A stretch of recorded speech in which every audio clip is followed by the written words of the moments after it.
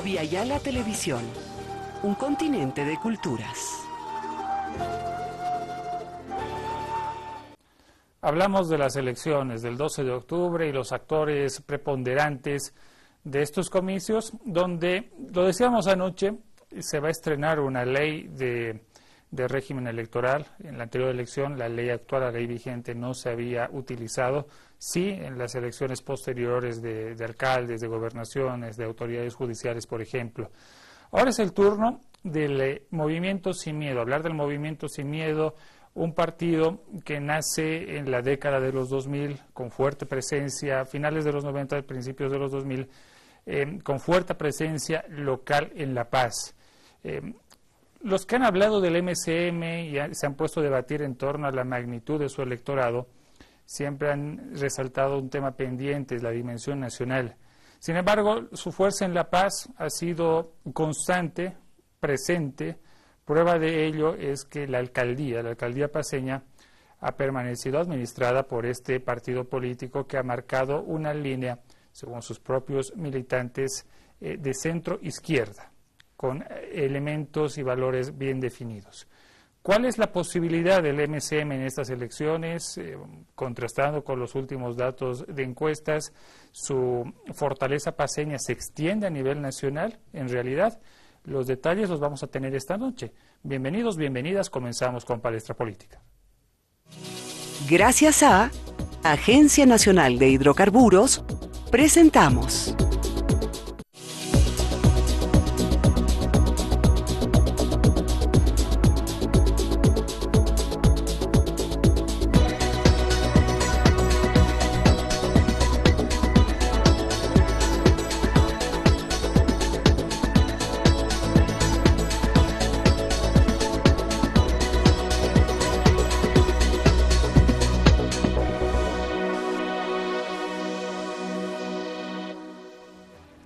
Prácticamente tres meses que Palestra Política está en sus pantallas hablando de memoria histórica, hablando de formación política y en esta última etapa hablando en concreto de los candidatos a las senaturías, diputaciones presidenciales que ya han pasado también por nuestro programa.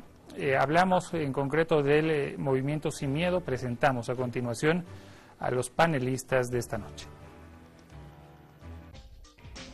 Esta noche nos visitan, en Palestra Política, candidatos para diputados plurinominales del Movimiento Sin Miedo, María Elena de Esa Suárez, Edwin Hugo Herrera Salinas, Eric Humberto Medrano Choque y Andrés Usín.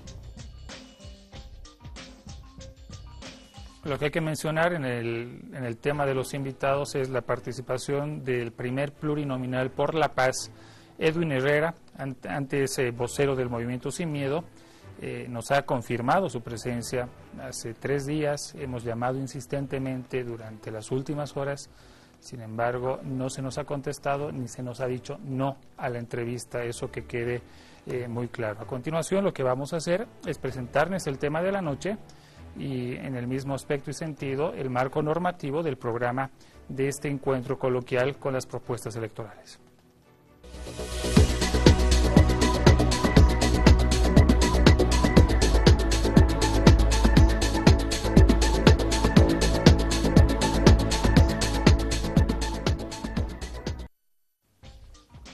Hablamos del marco normativo de esta palestra política de la noche. Este es un espacio de coloquio con los candidatos a la presidencia, vicepresidencia, senaturías y diputaciones, tanto plurinominales como uninominales. Se procurará evitar alusiones a otros candidatos. El centro de la discusión es el plan mismo de gobierno de la propia organización y nuestro espacio dura una hora en el que los invitados podrán darse a conocer y mostrar sus propuestas de gobierno y se pide a los candidatos y o candidatas responder con claridad a las preguntas en beneficio de la audiencia y de la población de nuestro país y nuestro departamento. Muy bien, dicho esto y los marcos normativos, empezamos a hablar con nuestros invitados del movimiento Sin Miedo. Andrés Susín, buenas noches, bienvenido, gracias por aceptar nuestra invitación. Tercer candidato plurinominal por la paz. Eh, háblenos acerca de usted, Andrés. Em, cómo aparece en la política, ¿Cuál es esta vocación dentro del movimiento Sin? Bueno, yo, yo comienzo mi carrera profesional en el gobierno municipal de La Paz. He trabajado allí del año 2002 al 2008. Eh, luego trabajé en Entel, luego hago estudios en Europa y vuelvo el 2010.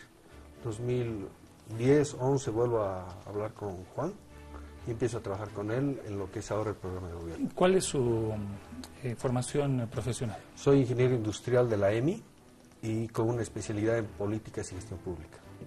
Bien, gracias Andrés. Señora María Dehesa, bienvenida, buenas noches, candidata segunda plurinominal del Movimiento Sin Miedo. Háblenos de usted, su perfil, eh, su trayectoria política.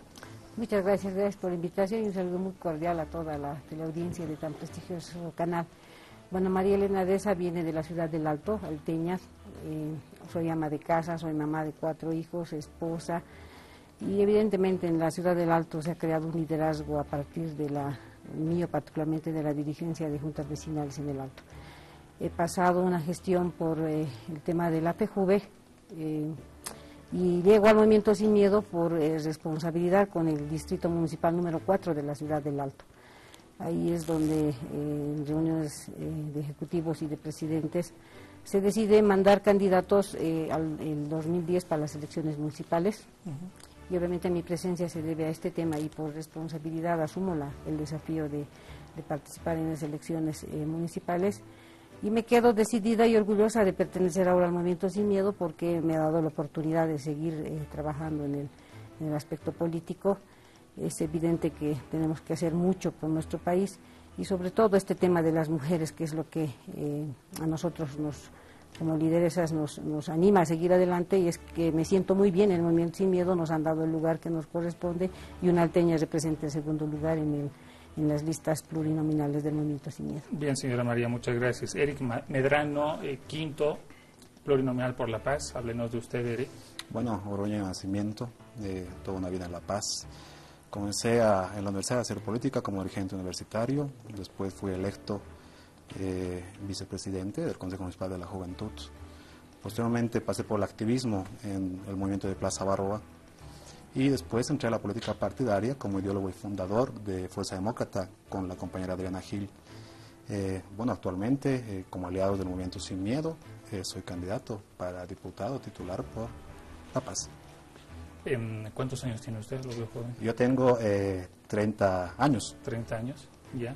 Y bueno, creo que me considero joven porque La Paz es como un refrigerador, así que creo que estamos viéndonos por eso joven. Quiero proponerles hablando de un, de un aspecto eh, cuantitativo, no necesariamente exacto. Pero si vemos los datos últimos del movimiento Sin Miedo en su bastión La Paz, los datos no son muy alentadores ¿no? Se ha sacado una última encuesta con un 3% de preferencia de general del partido. Eh, y traigo a correlato el tema de la elección última de municipalidades, ¿no es cierto?, el año 2010, donde la situación era diferente. En las encuestas sí se visibilizaba más el MCM, ¿no es cierto? Se hablaba del candidato Revilli, del candidato, la candidata Elizabeth Salguero. ¿Qué ha pasado en esos cuatro años para que un reflejo cuantitativo esté con, esa, con ese dato, con ese indicador? Yo, yo voy a comenzar. Andrés. Bueno, hay que, hay que tomar una, un poco la historia de las encuestas, ¿no? Si las encuestas hubieran sido exactas, bueno, ser exactas es ya mucho, ¿no? Hubieran tenido aproximaciones un poco eh, adecuadas, seguramente en La Paz estuviéramos hablando de la alcaldesa Elizabeth Chaleiro y en el Beni estaríamos hablando de una gobernadora que sería Jessica Jordán. ¿no? Eh, y yo creo que hay que hablar con la comunidad y preguntarnos qué es lo que falla en estas encuestas. Las fallas con Elizabeth Salgueiro y Luis Revillar no fueron fallas menores, no, no es que se dio una, una ¿Cuántos diferencia. puntos eran? Cinco puntos. En la última, en la última encuesta, y te digo porque yo Mm. participé de esa elección como parte del Movimiento Sin Miedo, en la última encuesta, a días de la votación, nos ponían 10 puntos por debajo. Ya. No estamos hablando de, de- de- o sea, es un cuarto de la votación que, la- que, que sacó Luis Revilla. ¿no? Eh, lo mismo pasó en el Beni. Pero sí estaba visible Luis Revigue. El MSM sí estaba visible. Eran los dos únicos Ya, 10 partidos menos, que- 10, que- que 10 más. realmente Pero hablar, peleaban. por ejemplo, ahora de 50%. ¿no? Pero hay, hay, hay que pensar qué, qué pasa con las encuestas, por qué fallan tanto. O sea, si en Estados Unidos tú fallas, o en Europa, o en, o en cualquier otro país, incluso en Colombia, en, en- en Chile, como encuestador, en un 3%, como, pierdes total cre- credibilidad. Aquí fallan las encuestadoras 10, 15%, 20%, o si hablamos de la votación de cada partido, hasta el 100%, eh, no pasa nada, no pierden credibilidad, siguen actuando como empresas y no tienen ningún problema. Entonces hay que preguntarse bien qué es lo que falla. Si lo que falla es la metodología, si lo que falla es la forma de hacer las preguntas, si lo que falla es que la gente tal vez no es lo suficientemente sincera para decir por quién vota, una muestra de eso podría ser un 20, 30% de no sabe, no responde, o si lo que falla es que la gente cambia de parecer en el momento de la votación. ¿no? Eh, nosotros eh, tenemos una, una visión muy distinta de lo que es- van a ser las elecciones. Nosotros que estamos en las calles, que hacemos marchas, que estamos con la población, sentimos mucho cariño, mucha adhesión. De hecho, por ejemplo, nuestras marchas van muy Pero, lento. pero eso es emotivo. por- Eh, Andrés, eso el no- voto si es sienten emotivo. cariño o El voto es emoción, es, emotivo. es- es emotivo. Entonces hay que preguntar si son estos, estos problemas técnicos o si realmente hay alguna, al- alguna otra cosa ¿no? Ya, de, en, en las encuestas.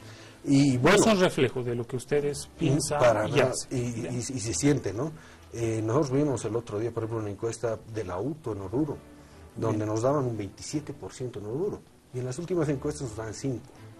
¿no? Entonces, ¿dónde hay tanta diferencia? Es, es donde la población se tiene que preguntar si realmente las encuestas están reflejando la intención de voto o están reflejando alguna otra cosa. ¿no? ¿Han hecho una propia encuesta? Tenemos sondeos, ¿no? pero que no, no, no estamos autorizados a divulgar Sí. porque las, solo las encuestadoras que están eh, inscritas pueden... Eso es verdad. hacer. El reglamento del Tribunal Supremo Electoral establece eso. Señora María Dehesa, un elemento que ha, que ha sido importante en los últimos días, hablando del movimiento Sin Miedo y el trabajo previo que se ha venido haciendo, porque el movimiento Sin Miedo se ha venido tra- eh, preparando para esta elección hace varios meses atrás. No es que haya entrado en carrera hace dos o tres meses como algún partido. Es que ha habido un cambio de militantes. ¿no? Han habido, ha habido gente relativamente importante, ustedes dirán el grado de importancia, pero que ha dejado el MCM en Santa Cruz, en La Paz fundamentalmente, hay algunos casos, si no me equivoco, en Cochabamba, para eh, entrar al movimiento al socialismo. ¿Cuánto ha, generado esto? ¿Cuánto impacto ha generado este, este cambio y estos abandonos? Bueno, particularmente en la ciudad del Alto, si nos referimos a, a la militancia, prácticamente nada. Más bien el movimiento Sin Miedo se ha sentido fortalecido por este tipo de, de, de si vale el término, abandono del partido, porque nos han dejado prácticamente trabajar. Hemos estado conscientes de que en el movimiento Sin Miedo ha habido gente que ha querido de alguna manera eh, eh, trabajar para uno mismo, o sea, hacer el tema de, del yo quiero ser esto, yo voy a trabajar, etcétera. Y es evidente que se ha reflejado en la ciudad del Alto, particularmente empezó este tema. Y los que hemos sido consecuentes y los que queremos al partido realmente es que hemos estado en, esta, en esta situación. Esta circunstancia ha hecho de que, de que primero nos digan que estamos divididos, no estábamos divididos, nos sorprendió hasta nosotros eh, estas actitudes de, de militantes, que son muy pocos, no son eh, cantidades que, que se ha demostrado en algún medio de comunicación. Por lo menos en la ciudad del Alto son ocho los que han dejado el, el movimiento sin miedo y se han ido a otro partido. Esto nos hace pensar que ha habido realmente la situación de querer tener un cargo, de querer estar en espacios de, de- de- de- De decisión. de decisión. Bueno, lo han estado y lamentablemente no han tenido el apoyo. eh, en- en los- nosotros hemos, hemos puesto candidatos y hemos hecho congresos regionales en el Alto, regionales, departamentales, nacionales para hacer la nómina de los candidatos. No se puso a dedo en ningún momento y esta situación ha hecho de que ellos no tengan el respaldo, entonces la molestia. Pero finalmente eh, lo que nosotros eh, recuperamos de estos eh, hechos es que finalmente se dieron a conocer lo que son, se dieron a ver eh, la- la- las personas que, que- que estaban dentro de nosotros y que en algún momento eh, estaban queriendo fracturar y dividirse el partido, Pero sin embargo, se dio este momento que para nosotros es crucial, se alejaron y obviamente nos sentimos aliviados. Es riesgoso tener eh, dentro de los cuadros gente que no ha sido necesariamente formada dentro de la estructura partidaria. Bueno, en todo, en todo, en cualquier caso yo creo que es riesgo. el, hecho de que nos, nos, lo que pasa, por ejemplo, a nuestros candidatos eh, se acercan otras ciclas, otros partidos y le dicen, bueno, te vienes con nosotros, te vamos a dar esto, te vamos a dar dinero, entonces ha sido evidente con nuestros candidatos. Sin embargo, las personas que no tienen principios de, de creer en el partido y en lo que está haciendo el partido se demostraron en estas actitudes y obviamente eso para nosotros realmente ha sido en el alto particularmente muy fortalecedor para el partido, pero sin embargo hay que cuidar el tema de lo político. O sea, ¿por qué la gente nos juzga? ¿Por qué la gente nos dice los políticos eh, siempre están viendo su, su, beneficio personal? Es por estas actitudes. Entonces, yo creo que el político ahora en el Movimiento Sin Miedo realmente estamos formando con una misión eh, diferente, con una visión diferente y es esto de servir a la población. Gracias, señora María. Eric, eh, tú has hablado de que estás en la plancha como producto de una alianza, ¿no es cierto? ¿Cuánto aporta Adriana Gil en el binomio, ¿no? La hemos visto eh, particularmente en la Asamblea Legislativa, en el tema de, debates eh, muy duros, muy fuertes, muy críticos, casi eh, bordeando la tangente de, la armonía relacional entre las personas. sin embargo, ¿cuánto aporta esta figura al, binomio y al partido? Bueno, yo considero que Adriana Gil, con 10 años de carrera, tanto en el Parlamento como cuando se inició. Eh, ha formado un liderazgo nacional y un liderazgo que creo yo es parte de esta transición de un sistema político a una nueva generación que tal vez está aperturándose en el país para hacer política. Eh, sin duda el hecho que ella sea mujer, que ella esté representando al oriente de nuestro país, eh, que sea joven, que sea contestataria, que sea rebelde, que no se calle eh, como otros políticos correctamente, políticamente, políticamente correctos se quieren callar, hace que Adriana Gil sea una líder eh, nacional. Eh, nosotros, como Fuerza Demócrata, estamos honrando la alianza con el Movimiento Sin Miedo. ¿Líder nacional o figura pública? Porque no sería lo mismo, ¿no? O sea, mm. públicamente sí, se la conoce, se le reconoce, pero de allá un liderazgo político, ¿cuánto trecho hay? yo quisiera comentarte, estimado, eh, nosotros estamos haciendo política eh, en términos netamente de organización política hace más de seis años. Mm. Hemos tratado de sacar la personalidad de Fuerza Demócrata, pero no hemos logrado por observaciones netamente eh, procedimentales que no vienen al caso y que han cercenado nuestros derechos políticos de participar. ¿Por qué digo que es una líder nacional? Porque nosotros tenemos representación en esta alianza, diputados y en senadores en todo el país. ¿Por qué digo líder nacional? Porque a partir del liderazgo de Adriana Gil consideramos con el movimiento Sin Miedo podemos dar una propuesta renovada, eh, vigorosa, ¿no es cierto?, a tal vez otras propuestas que no están planteando este cambio generacional objetivo y material que nosotros sí estamos proponiendo. Quiero acotar una, una pregunta más, Eric. ¿Influye mucho la biografía política de estos líderes nacionales al momento de ver la estabilidad y la fortaleza de las alianzas? Te lo digo porque, o sea, tú, tú rescatas, ¿no? Es, es una líder, eh, ha trabajado hace tiempo, tiene vigor en la Asamblea Legislativa. Si vamos pauteando datos biográficos que son indiscutibles, se encuentra una trayectoria política no muy estable. ¿Eso influye o no influye? ¿Qué garantías se puede dar de que la vicepresidenciable se mantenga en línea los siguientes años? Porque el problema de la oposición en este último tiempo la posición legislativa ha sido ese, ¿no es cierto? Bueno, eh, yo más bien veo mucha estabilidad en la carrera política de la compañera Adriana. Quiero aclarar, y tiene que saber el pueblo boliviano, eh, que Adriana Gil fue la única diputada, la única diputada que jamás, que jamás apoyó un solo proyecto de ley del movimiento socialismo. Habrá que preguntar al resto de eh, diputados opositores si hicieron lo mismo nunca nos alejamos de la línea ideológica, nunca este, eh, tratamos de vender nuestros postulados ideológicos. Siempre nos hemos mantenido en la línea de izquierda, como lo, hizo, lo hace el movimiento Sin Miedo, y bajo esa convicción ideológica pues seguimos haciendo política, eh, pero no solo Adriana Gil, seguramente ella es la líder con eh, más visibilidad en estos momentos.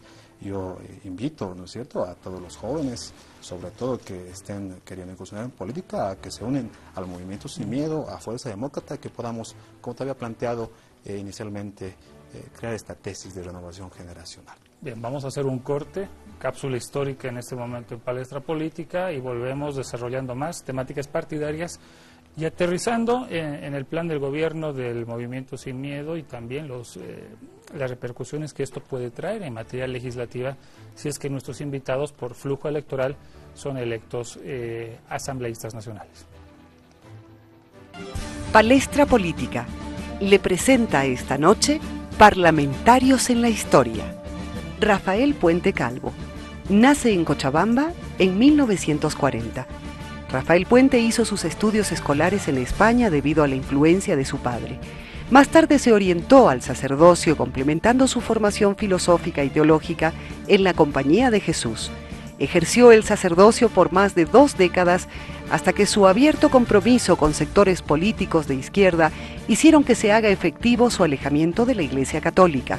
En los años 80, Puente estuvo entre los fundadores del Bloque Patriótico Popular, corriente que se sumó a la Izquierda Unida en 1989. Por esta razón, Puente fue elegido diputado en los comicios de ese mismo año. Ejerció varios cargos públicos en los años posteriores, aunque en periodos cortos. Volvió a la esfera pública durante el gobierno del presidente Juan Evo Morales Aima. Fue viceministro de Régimen Interior fue prefecto del departamento de Cochabamba en reemplazo de Manfred Reyes Villa, que perdió el referéndum revocatorio en el año 2008.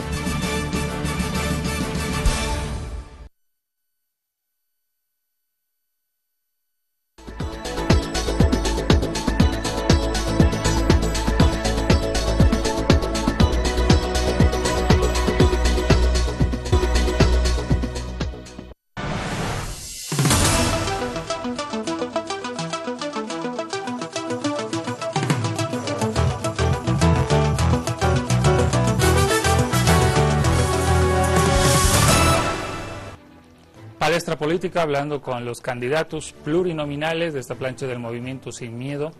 Em, seguimos haciendo las, eh, las interrogantes.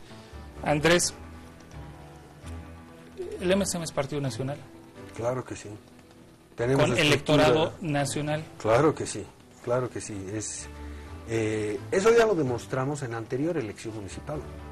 ¿no? Tuvimos presencia en 100 de los 339 municipios. Ganamos en dos de los más principales, que es La Paz y Oruro. Eh, y tenemos... 100 de 300 es menos de la mitad. Sí, pero sobre todo en el país.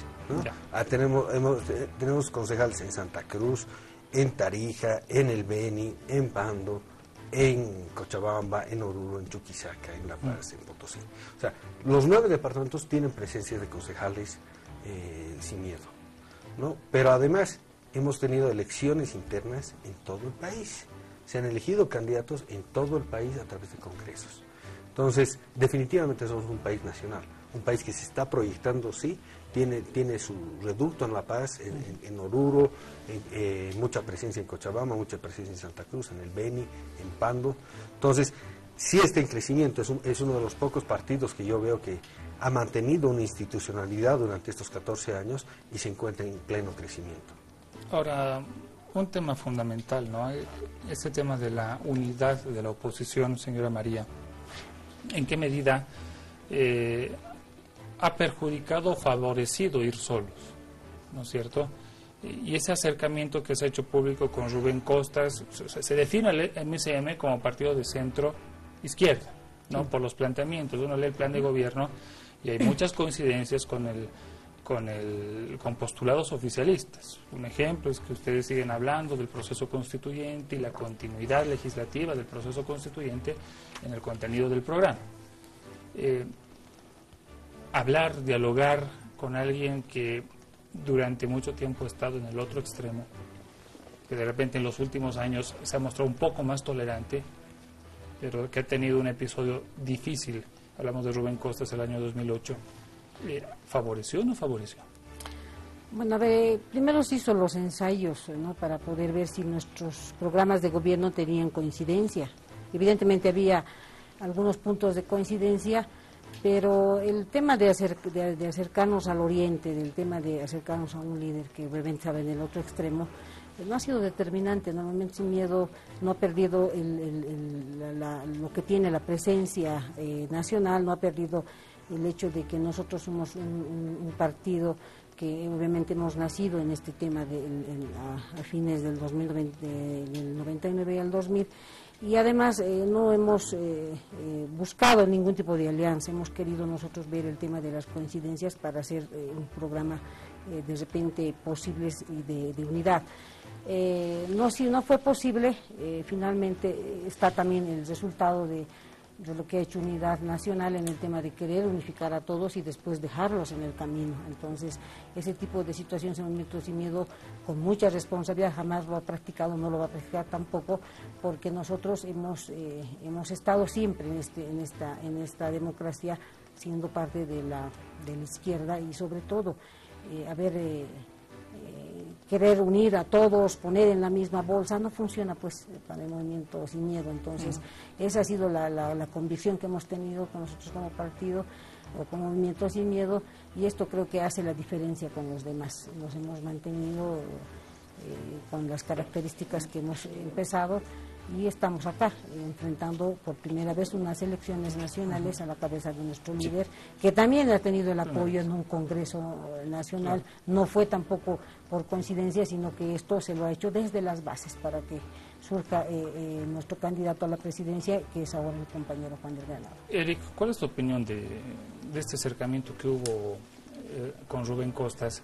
Y tú me corregirás, ¿no salió lo de Costas, habilita lo de Adriana Gil? O es errado lo que, lo que estoy diciendo?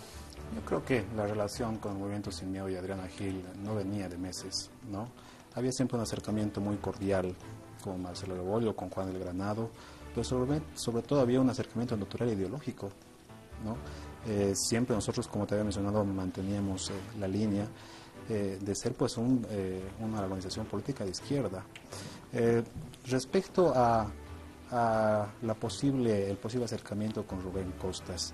Evidentemente nosotros todavía no éramos aliados. Exactamente.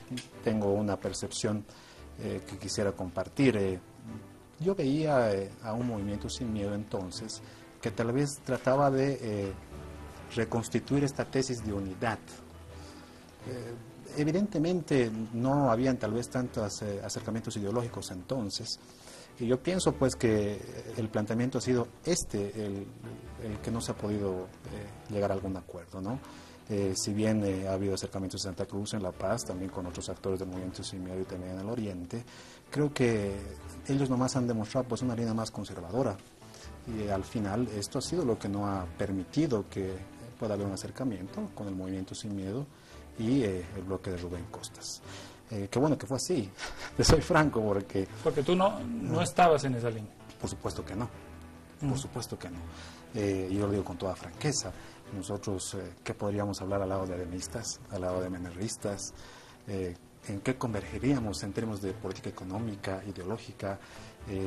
¿Cuál sería la visión de país que planteamos con esta, estos sentidos y contrasentidos tan diferentes que han juntado eh, tanto tú, como eh, Samuel, ¿no? Eh, se complica la situación.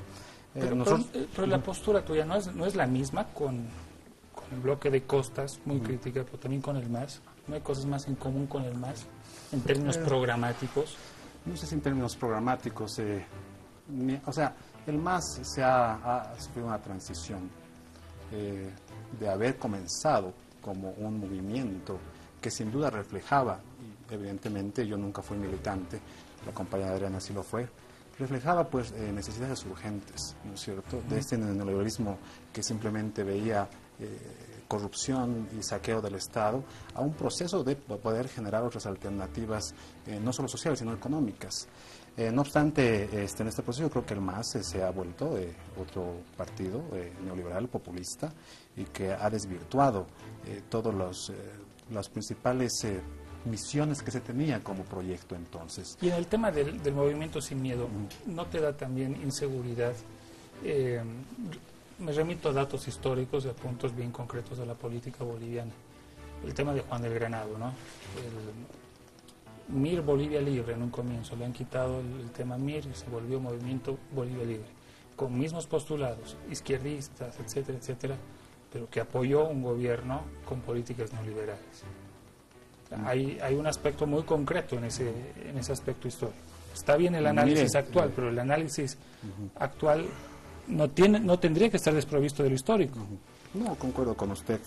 Evidentemente de la trayectoria de, de Juan este, ha tenido muchas luces, seguramente algunos desaciertos como es natural en esta carrera política. Nosotros estamos viendo con él un proyecto futuro. Nosotros estamos comprometidos con él con una alianza a futuro.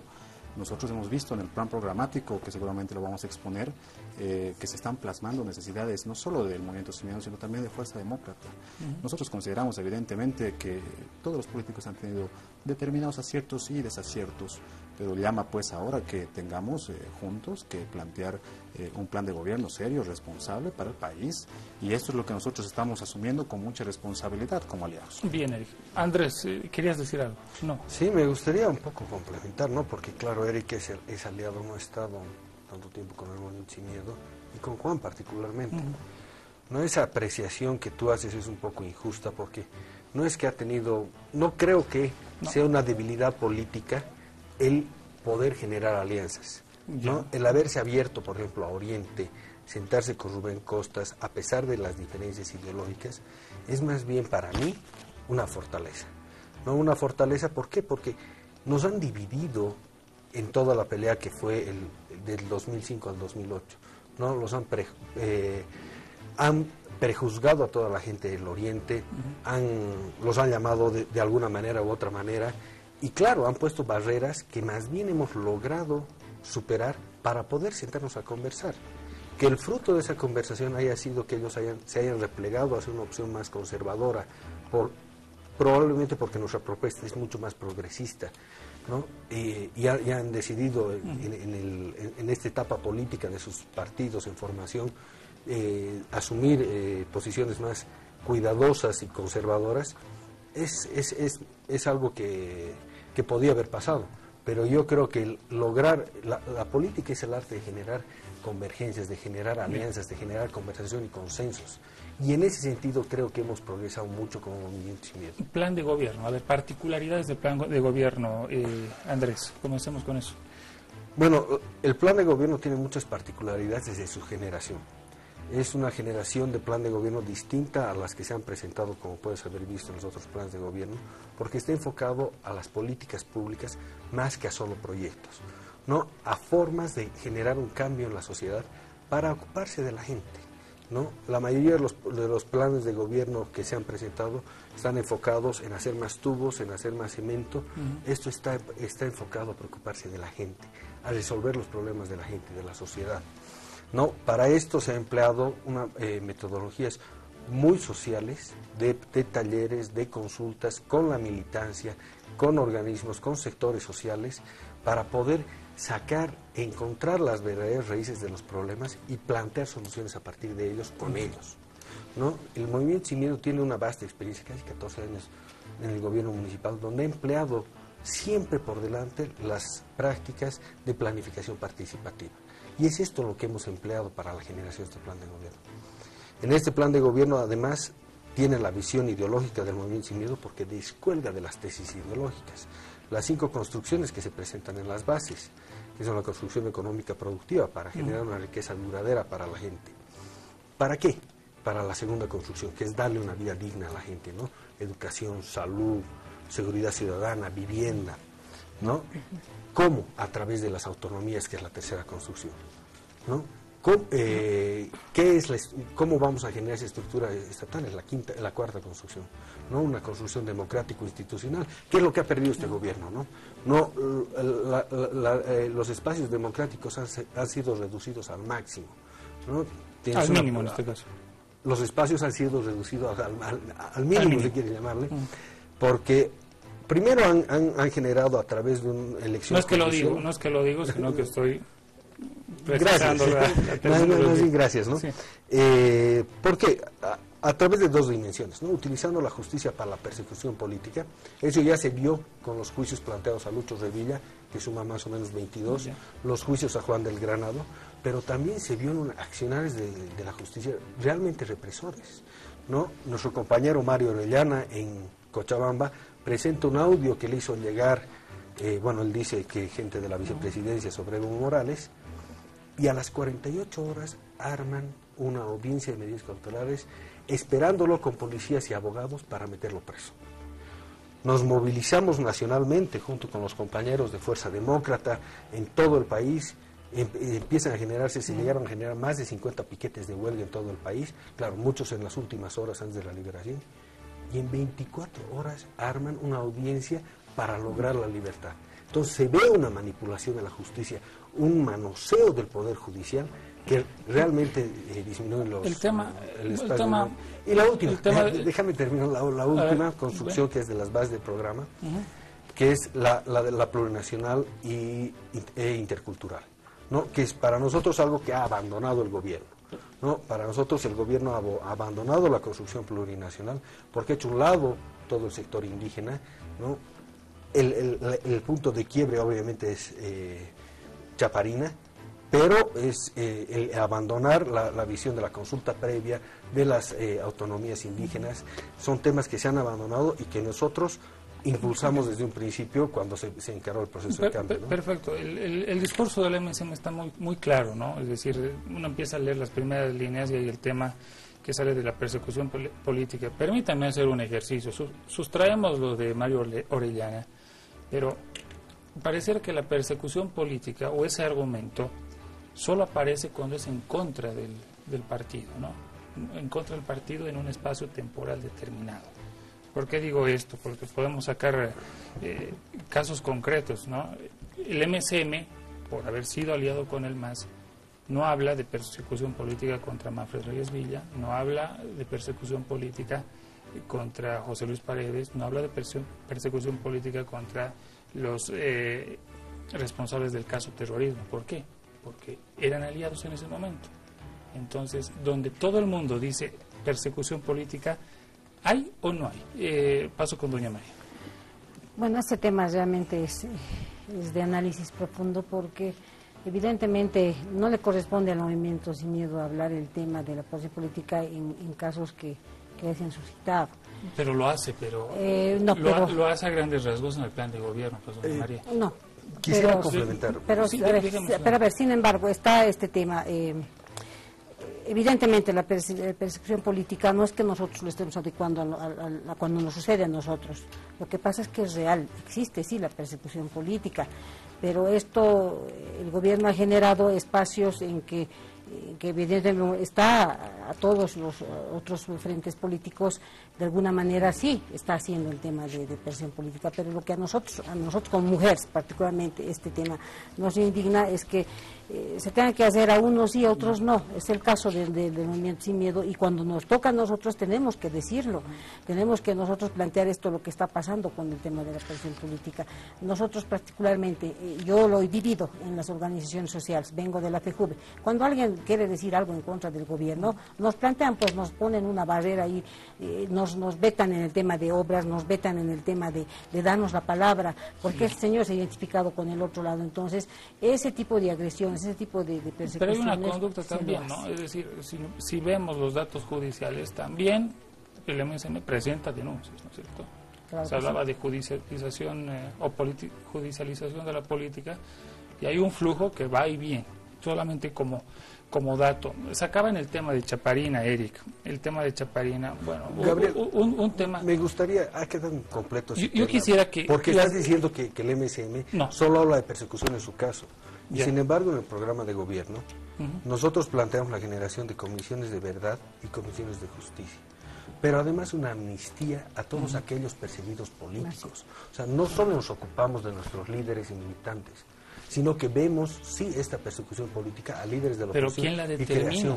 O sea, no es un aspecto subjetivo determinar qué es o no es. Y por eso ponemos que en la Comisión de Justicia se hagan auditorías judiciales y si hay material que debe ser eh, ajusticiado, que debe ser generado, vuelva a, su conducto regular, pero también desestimar los casos evidentemente políticos. Vamos con Eric, se hablaba de Chaparina, bueno, conocemos las repercusiones y la fuerza de eso.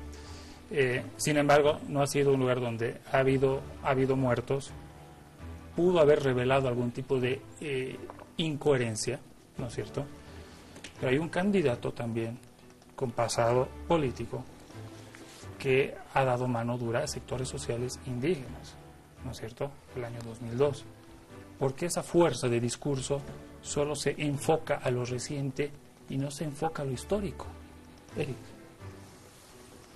Bueno, eh, tú me hablas del caso Chaparina de manera... De manera concreta, pero te estoy hablando de Jorge Quiroga y su acción fuerte con, con, muertos, con heridos, en una política antidrogas que Ana María Romero Campero la, la, la tachó de inconstitucional ¿Por qué el discurso, el MCM y los aliados del MCM se refleja solamente en lo, reciente y no en lo histórico? Cuando hay un actor político que está apareciendo también ahora. No sé si, si fue así. Yo recuerdo que no solo como activista, sino también Adriana como parlamentaria, sin ánimos, porque entonces no, no éramos aliados y tampoco había un proyecto de, de participar en elecciones presidenciales, se tomó eh, de manera muy determinante, de manera muy tajante y hasta intransigente posiciones de que no debería haber semejantes represiones, ¿no es cierto? Yo creo que no es un discurso netamente electoralista. Eh, a partir del planteamiento que nosotros hicimos de poder eh, permitir este tipo de manifestaciones sociales y evitar represiones, creo que hemos marcado una línea muy clara ante la opinión pública. Evidentemente, este, habrá, habrá habido otros mandatarios que han tratado de camuflar el discurso de manera muy hábil eh, en estas transiciones electorales, en estas dos últimas sobre todo, eh, pero nosotros consideramos que nos hemos mantenido muy coherentes en la posición respecto a que debe tener haber mucha más tolerancia, tiene que haber escuchar el gobierno, eh, no solo las voces del palacio, sino también las voces de las, las organizaciones que están fuera, y que esta es la forma de construir un Estado, ¿no? Bien, Agradecemos a nuestros participantes. Segundo bloque de corte en palestra política. Volvemos más con especificaciones del plan de gobierno del Movimiento Sin. Palestra política. Los invita a recuperar la memoria histórica, partidos políticos que fueron parte de nuestro país. Movimiento Bolivia Libre. Se funda en el año 1985 como MIR Bolivia Libre sin embargo, se ve obligado a suprimir la sigla MIR y llamarse Movimiento Bolivia Libre. Las divergencias que dieron al interior del MIR histórico y su participación en el gobierno de la UDP causaron la división de tres grupos en concreto, el MIR de Jaime Pazamora, el MIR Maza y el MIR Bolivia Libre. Este partido adoptó el eslogan Somos Trigo Limpio para sus campañas electorales.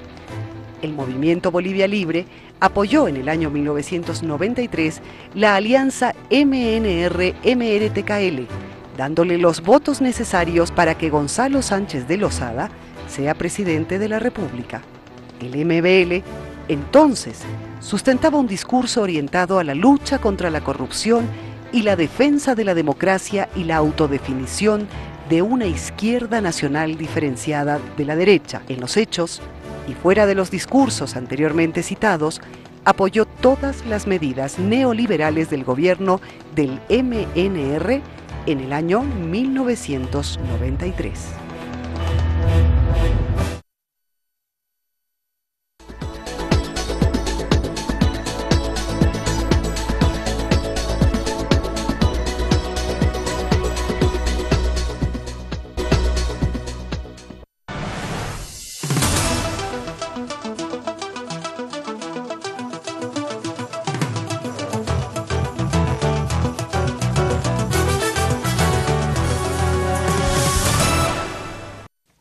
Con los candidatos del Movimiento Sin Miedo por la Paz, plurinominales. Eh, Eric, eh, la idea de postulados de, del sector al que representas en el marco de esta alianza, que están en el plan de gobierno y cómo funcionarían, cómo se implementarían. Bueno, permíteme abordar los temas eh, que se refieren a la juventud. Creo que es un sector que no solo consideramos que es importante, sino que para nuestro proyecto político para el movimiento Sin Miedo, este, bueno, es eh, sumamente representativo en términos de que el movimiento Sin Miedo, no lo digo yo, lo dice la PNUD, ha abierto pues a la menor cantidad de candidaturas a jóvenes. eh, Fuerza Demócrata, su gran mayoría son dirigentes jóvenes. En el plan de gobierno eh, nosotros proponemos eh, tres cosas fundamentales, considero yo. Sobre la participación política, la creación del Ministerio de Juventud, un Ministerio de Juventud que pueda garantizar que los mejores estudiantes puedan ingresar directamente a la carrera pública y puedan hacer carreras administrativas, que se deje de burocratizar y eh, termine el padrinazgo, ¿no es cierto?, de estas, estos espacios y que los mejores puedan este, cumplir funciones eh, con el Estado. Eh, la participación política, estamos creando consejos deliberativos en todos los niveles de gobernación, en todos los niveles de autonomía, para que los jóvenes dejen de ser pues estas masas descriteriadas que solo se buscan para elecciones, sino que tengan también consejos deliberantes que puedan aportar con ideas eh, de manera material y objetiva los planes de desarrollo no solo nacional, sino también, sino también municipales y regionales. Ministerio de la Juventud como elemento más importante, se habla de, eh, en un marco plural, de restitución de partidos políticos, de sistema de partidos políticos. ¿Qué implicaría eso, señora María? Bueno, a ver, eh, la destitución... Eh, Porque queda el trauma de lo anterior, ¿no es cierto? De una organización donde habían cuoteos y al final de cuentas se hacía lo que mandaba el interés y no se hacía lo que decía el elector y la población.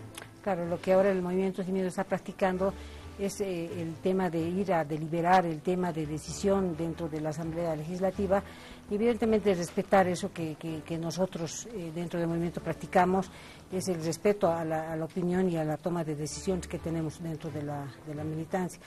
Lo que ha pasado antes dentro de los partidos políticos es que lamentablemente siempre se direccionaba a todo, siempre se daba el tema de, de poder, eh, mm, de, poder no sentir el, pensamiento. O sea, a una mujer se le decía esto, dices Restitución del sistema de partidos, ¿para qué? Para que Para mejorar, obviamente para mejorar y el tema de servicio a la población que tiene que ser lo esencial. ¿Cómo podría mejorar con un sistema de partidos en el tema decisional? sin caer en el tema de cuoteo. Eh, bueno, primero está el tema de, cuidar esta participación de la mujer, particularmente en el tema de haber empoderado, en el tema político, ya tenemos la paridad, el 50 y 50, evidentemente va a ser mucho en la decisión de, en el tema eh, que particularmente vulnera a la mujer.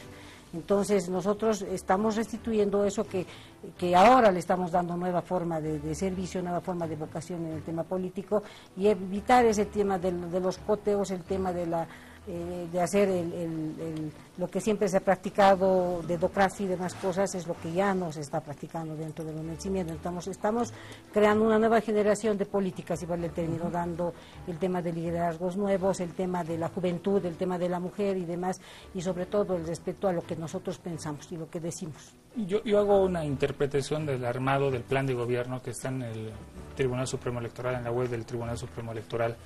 Y aparecen los valores del MCM, ¿no? Los enfoques políticos del MCM, económicos, eh, autonómicos, sociales, etcétera, pero luego aparece un desglose departamental de, la propuesta política.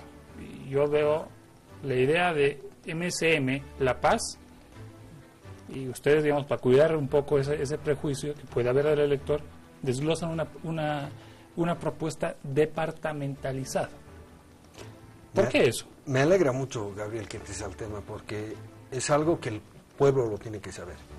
¿no? Eh, el formato de la página web del tribunal estaba pensado para un solo archivo para mostrar el programa de gobierno. Por la extensión de nuestro programa son 24 archivos. El tribunal lo ha colgado en el orden que le ha dado, lo ha visto por conveniente. ¿no? El documento físico tiene tres grupos. El primero es este, que es las bases de programa, que está toda la estructura, digamos, del programa en lo más en lo abstracto. Lo segundo tiene programas sectoriales y finalmente los departamentales, el los estratégicos del Tribunal Supremo Electoral sigue siendo más largo. ¿No? O sea, 300 eh, páginas, son, 300 páginas. no, no sé el número exacto, pero el, el tema es ese. Eh, en el tema de, del, del orden, por ejemplo, de los programas departamentales, el orden está en el orden en el que se muestran en el INE los departamentos y en el tribunal no lo están. lo que se ha buscado, y además es un detalle que me, gustaría comentar, Cada uno de estos programas estratégicos departamentales se ha armado con las direcciones departamentales y los militantes de cada departamento. ¿Por qué esa es una propuesta departamentalizada? Eh, primero porque la individualidad de los eh, diputados eh, departamentales y los diputados uninominales deben la visión ha sido que vayan a complementar esta propuesta. No, esto es solamente una políticas estratégicas que podría seguir el departamento de acuerdo a lo decidido por la por las comisiones y las... La paz ya no es prioridad para el MCM. No, claro que, claro que es nuestro, nuestro reducto, pero la visión es nacional. Eh, hay que generar un desarrollo equitativo en todo el país y es por eso que se ha trabajado tan profundamente con cada una de las regiones. Eric, tema de política exterior. El MAS habla procesos de integración, vínculos de integración, eh, solidez en la reivindicación marítima, eso aparece en el plan de gobierno que hemos leído, que está en el TCE, eh, algo similar plantea el MSM. ¿Cuál es la diferencia? Eh, ¿Dónde veríamos la distinción? Sobre el tema de, acuerdos, ¿no es cierto?, con estos bloques de unificación económica y de desarrollo social, evidentemente nosotros estamos planteando que se puedan mantener y profundizar, más sobre todo en el intercambio eh, de cuestión comercial, sobre nuestras posturas sobre el tema marítimo, que es parte también de las reivindicaciones constitucional que tiene nuestro país, nosotros eh, de manera responsable, y esto es bueno que la gente lo sepa, no podemos politizar el tema. Una responsabilidad. Aparece, pero en el proyecto. Así es. Aparece. Pero no podemos politizar. Se unas tres, cuatro ideitas, medio que políticas y se lo que. Pero yo te las aclaro. No podemos politizar porque sería una responsabilidad política e histórica hacerlo. Nosotros estamos apoyando ¿no es cierto? Y también estamos vigilando cuál es el proceso que el presidente del país está llevando con esta comisión, ¿no es cierto? Y estos procesos que estamos entablando eh, contra Chile. Pero evidentemente sería responsable. Queda claro. Estados Unidos. O sea, no se habla ni a favor ni en contra. ¿Qué es eso? Yo creo que eh, tenemos que dejar... Ah, somos antiimperialistas, no dice el proyecto de gobierno, ¿no? Concretamente, enfocado a Estados Unidos. Es que hablar del Hart y Negri ya te dice que este concepto terminó cerca ah, después de la Guerra Fría. no sé si, si ya podemos hablar en términos netamente políticos la existencia de un imperio o de un imperialismo. Eh, nosotros consideramos que estamos en un momento en la historia eh, de la economía mundial donde hay que tener una apertura, pero esto no quiere decir que entremos a rajatabla a un sistema eh, neoliberal ortodoxo sino más bien que aprovechemos las oportunidades para llegar a acuerdos con todos los países en beneficio no del gobierno, no de eh, los ministros, como está pasando y pasó en la época de Sánchez Lozada, sino más bien para poder incentivar el sector productivo. Te digo esto porque, bueno, necesitas ese autor, no lo he leído, no lo conozco, soy sincero sin embargo, está en la Constitución, y la Constitución va a marcar la identidad del, gobierno que, al que le toque, ¿no? Si es, eh, si es de derecha, si es de izquierda, va a tener que lidiar con esa identidad constitucional. ¿Por qué República Plurinacional de Bolivia? ¿Por qué hacer énfasis en algo que posiblemente, doña María, parece nominal? No es el tema nominal, lo que pasa es que el tema de república eh, es, el tema de, unificar a una, al pueblo al, pueblo boliviano cuando hablamos de estados eh, prácticamente se crea más o menos una división de o sea estados estado plurinacional de Bolivia en cambio en el tema de república hemos nacido como república a la democracia hemos nacido a la república eh, cuando hemos formado el país. Entonces, esta diferencia hace de que el movimiento sindical mantenga el tema de república, o sea, volver. No significa, pues, república neoliberalismo, no significa república el hecho de haber hecho. Eh, eh, lo que ahora se dice el gobierno, república es igual a, a, neoliberalismo, eh, dictadura, etcétera, ¿no? República es algo que es una esencia misma de la unificada, eh, el tema de denominar. Prácticamente, ¿en qué aportaría a, la plurinacionalidad? El concepto a la unificación, que es lo principal, y, sobre todo el tema de, poder hacer eh, de recuperar eso que hemos perdido, porque al decir Estado, Estado plurinacional es como estuviéramos eh, dividiendo al, país. En cambio, el tema de República es, la esencia misma de lo que ha sido Bolivia. Les agradecemos a nuestros invitados. Estamos llegando prácticamente al, tope de la hora en Palestra Política. Em, a continuación les vamos a dar un minuto en el reloj del sur para que tengan una intervención 60 eh, segundos cada uno. Comenzamos con Andrés. Eh, háblele a la gente, háblele, dele su mensaje y adelante, aproveche esos 60 segundos. Mil gracias, Gabriel. Bueno, yo quiero decirle a la gente que el movimiento Sin Miedo está buscando reencauzar al país. ¿no? El gobierno se ha estancado en negocios, en proyectos faraónicos, se ha olvidado de la gente, está concentrado en otras cosas. La gente hemos retrocedido después de varios años en el índice de desarrollo humano por primera vez en, estos nueve años. Eh, la inversión en salud es mínima, en educación está realmente colapsando. Nosotros queremos reencauzar eso, pero además queremos decirle a la gente que no pensemos en opciones para volver al pasado. Claramente partidos más conservadores están con la visión de un 50-50, de, recapitalizar eh, las empresas públicas. Nosotros queremos ir hacia adelante. Queremos sí mantener la ganancia y la la ganancia y, la, y las rentas eh, de los recursos naturales, pero para enfocar el desarrollo humano integral. Señora María de esos 60 segundos al mismo tiempo. Muchas gracias. Eh, creemos y estamos seguros que Bolivia es un país bendecido en todo aspecto, en el tema eh, de, recursos naturales, el tema mismo de la población, es una riqueza enorme lo que tiene la, misma, los mismos habitantes bolivianos. Y lo que nosotros queremos decir particularmente en esta ocasión es decirle que a nosotras las mujeres no somos masoquistas, no nos gusta que nos golpeen, queremos realmente cambiar este estigma que tiene la mujer de ser tantas veces golpeadas y el movimiento sin miedo realmente tiene alternativas de poder cuidar nosotros. Eh, queremos decirle a las mujeres que, hay realmente en nuestro programa de gobierno hay muchas, muchas eh, ventajas en el tema de la mujer. Tenemos y tenemos la posibilidad de practicar esta situación, de darle el lugar que le corresponde, sobre todo a la mujer que es trabajadora, que es, el, pilar fundamental de la familia y el movimiento sin miedo, sin duda cabe, va a trabajar por esta situación. Gracias, señora María. Eric Medrano, 60 segundos.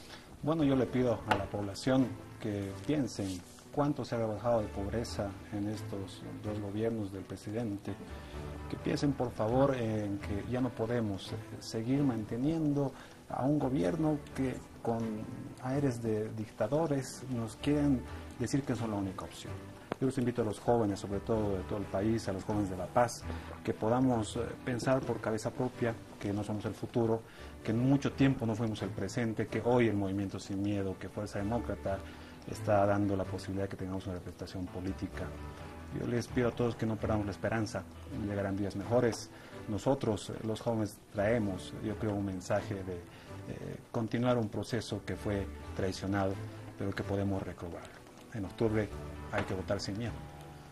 Bien, les agradecemos a nuestros invitados. Mañana en Palestra Política, los eh, candidatos uninominales por la circunscripción número 9. Ustedes ven, ya no es la la vieja circunscripción 9 de la zona sur, son otros barrios que están focalizados en ese mapa que ustedes lo ven y los vamos a tener como protagonistas de nuestra palestra. Eso es todo por esta noche. Gracias. Eh, celebremos el espíritu democrático en estas elecciones. Eh, la palestra es para todos, para que den su, su visión, su objeción, sus críticas y sus propuestas. Buenas noches. Permiso